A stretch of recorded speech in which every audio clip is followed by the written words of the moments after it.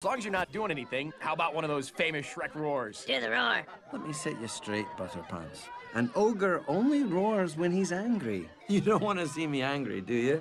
Do it.